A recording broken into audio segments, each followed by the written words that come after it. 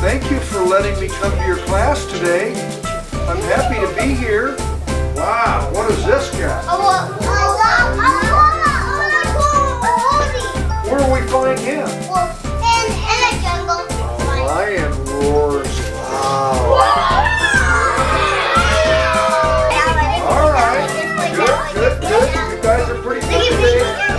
Today. Today was a beautiful day for me. I uh, came to the Head Start program here at Cap K and uh, got to read a couple of stories and interact with the children. And, and what a wonderful experience. Is this you? Bouncing all around?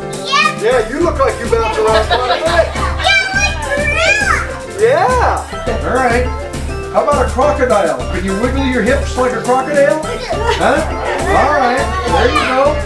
If you have a bad day, this is where you need to come and, and read a story because uh, reading the children will certainly change your attitude on a bad day. And I'm happy that I was invited to come here today.